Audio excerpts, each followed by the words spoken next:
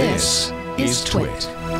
The holy grail for 2022, of course, will be if Apple announces its first virtual reality headset with some AR featured codename N301. That rolls off the tongue. And its accompanying ROS, no, codenamed Oak. Real-time operating Did they, system? Did they did they steal away some No, from it's Sony reality to come up with these system. product names? Reality operating system. Yeah. Oh. Yeah. Ooh, that sounds good. Uh, but the timeline for that product has been has slipped before Apple originally targeted 2020, then WWC 2021, then WWC D, WWDC. Oh, Leo, do you remember? I don't, 2022. know. Do you remember when Joanna asked asked uh, Craig about that during your interview, and she's like, "How's the software going for the for the mixed reality headset?" He's like, "I don't know what you're talking about." Yeah. Right. It was just one of Well, the best moments of They 2021. they don't pre-announce. So all of this buzz is caused by people like Gurman. Well, but but I think that the other thing is that they, uh, when you look at the trajectory of the rollout, they haven't been ready to roll it out, and it has nothing to do with the hardware. They don't, they haven't put all the pieces in place to build the ecosystem around the hardware. So I don't know if they're really behind. Like I, I know that he says that.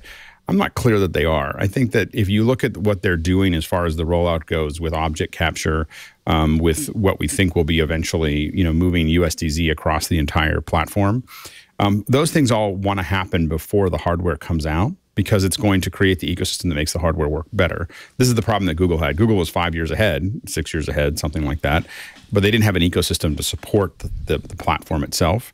And Apple has been slowly putting all the pieces together, but those pieces haven't been, and they feel like they've been going in a very, you know, um, measured pace, not like they're behind or ahead, but just like this is the next thing I would give you. Once you know how to do this, once once we give you lidar, the next thing I'm going to give you is object capture. The next thing I'm going to do is let you take that object capture and put it into Keynote and Pages. The next thing I'm going to do, you know, th- those things have to happen before you put out a piece of hardware.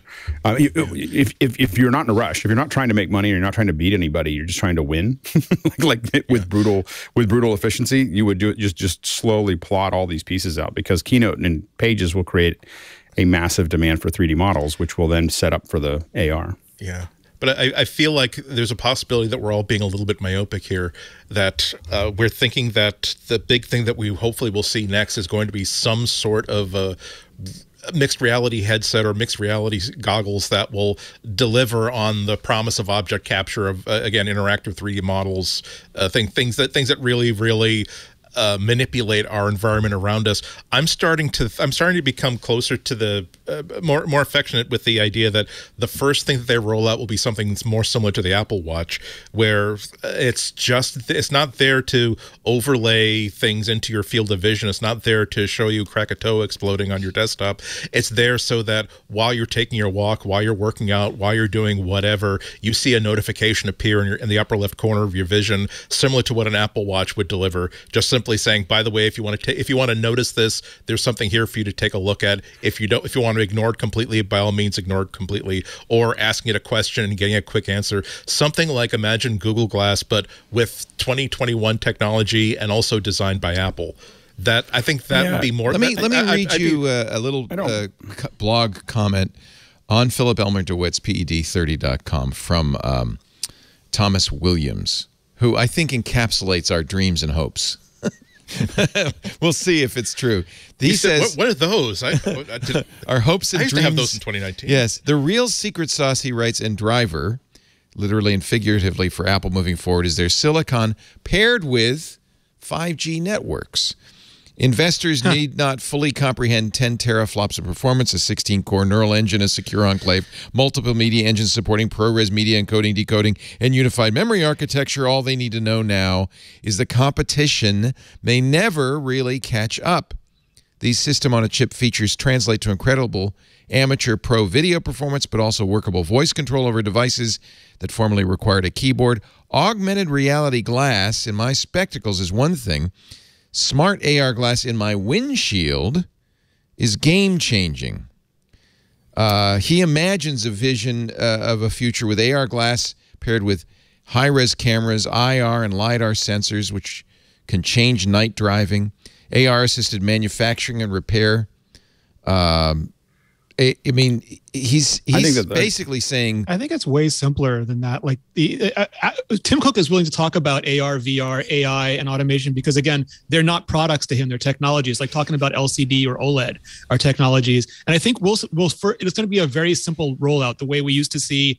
Uh, like the, the original iMac had a, a CRT display, but then the, it went to LCD, and you couldn't make an Apple an iPhone unless you had an LCD. There was no CRT iPhone, so that technology enabled new products, and these technologies will enable new products. But at first, they're going to be extensions of existing products. So the one that's going to ship first, like my best understanding is something like an Apple TV for your head, it's, it because the AR stuff is harder. So it's going to be it's going to have its own processor in it. It's going to go all around your head, and it's going to focus on immersive experiences like the Apple TV does, the fitness, the television, the gaming, the education, and then a couple years later is going to be what Andy was talking about, the Apple Watch, original Apple Watch style device that has to fit into glasses. So it's going to be way more restricted. It's going to lean on the phone a lot in the beginning, and it's all its job is going to be is to show you notifications and glanceable information without you even having to turn your wrist. So it's just it's a level of inc- of uh, of convenience increase, and then over time, those technologies will get built into all sorts of products the way that that LCDs did and eventually OLEDs did, and then Apple just rolls out Yeah. the next decade.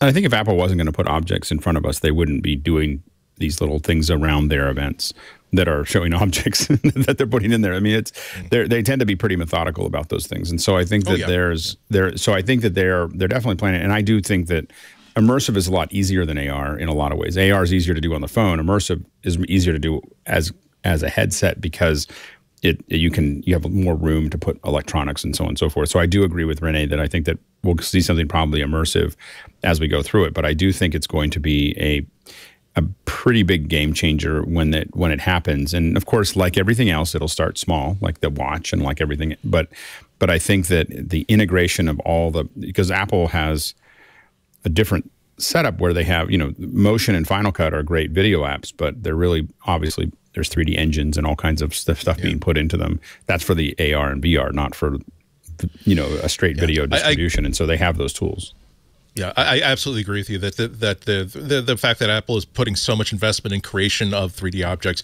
it's obvious that that's where that's where they're going. But my my stumbling block has always been when you're talking about mixed reality headsets or mixed reality goggles. I keep thinking of all the electric cars that they tried to build before lithium batteries came along. It's fine. It'll it'll you can have these lead acid batteries in the trunk. It will power the car for a certain amount of time, but it's simply not going to be the sort of thing. It's, it's not going to it's not going to be the technology that will enable this thing that we're kind of dreaming about. And took these high density batteries to give us cars that are actually function like cars, have the range of cars, have the styling of cars. Uh, and I think that we we're running into the same sort of technological limitation with mixed reality goggles, where how do we get a display technology that will give you a field of vision that most people will that will deliver the effect that you want, while also uh, being compact enough and power uh, uh, power uh, non-hungry enough to give you a wearable piece of kit that you would actually want to wear when you're not being given a virtual walkthrough of what your new kitchen remodel is. Well, but maybe like. we're That- maybe we're what- that's what I'm focusing. the glasses are um, uh, a red herring. Uh, maybe we're maybe, maybe. I mean, this idea Yeah, of a windshield mean, sounds very I'll give- intriguing. A, a heads-up windshield. Not that. I mean, I think you wouldn't invest in a future where people are still driving their own cars. Right. That's the thing. I think that if you're throwing the ball to where the receiver is going to be, as opposed to where it is Yeah. right now, you, you're not going to build. I mean, I think that we're there's a there's a moment for the next three to five years where we're still building like a high tech It's not a thinking long-term forward. future, yeah. The long term future is the Yeah. cars aren't going to have any Yeah. windshields. So what else would you put uh, heads up in instead of wearing these things? Well, the thing is, is that that we're already seeing a lot of these with you know um, uh, the stuff that that that we're already doing and, and building with USDZ is stuff that I can just send you a USDZ, and I talked about it earlier. If you go to something like Clarity.io, you can download a USDZ that we built. That um, I, I have to be honest. can I feel like this is gimmicky. I don't. I don't. uh, It Yeah, but- doesn't. every uh, demo I've seen is like you go to a restaurant and the menu shows you the three. It's just not but- to me. It but- doesn't. It doesn't speak to me as something I need. So But the, the thing I'm is, is that, that what, yet.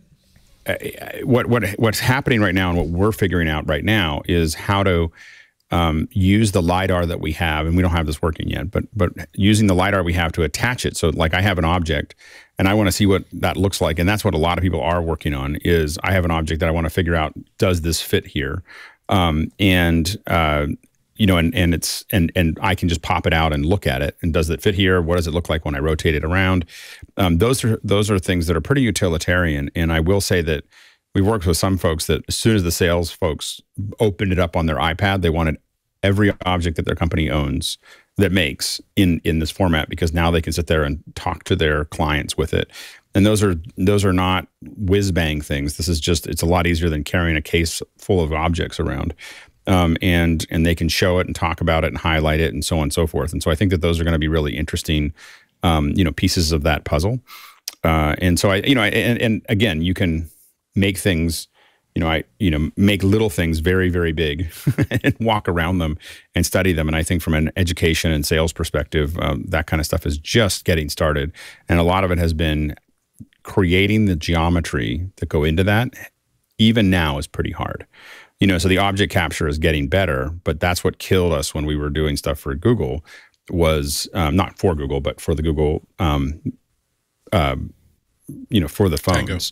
The tango the problem we had with tango was getting the geometry in we had to use unity at the time to do that and so there was like a huge lift. What we're getting to now is you can kind of wave your wave your phone at something and, and have a 3D model.